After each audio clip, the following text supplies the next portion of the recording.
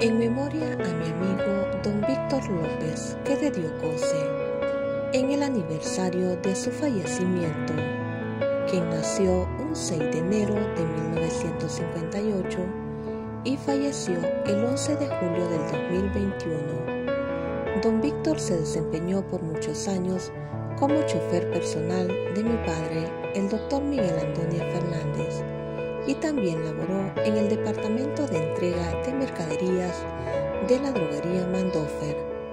Elevo una plegaria al cielo por el eterno descanso de su alma y resignación cristiana a sus familiares.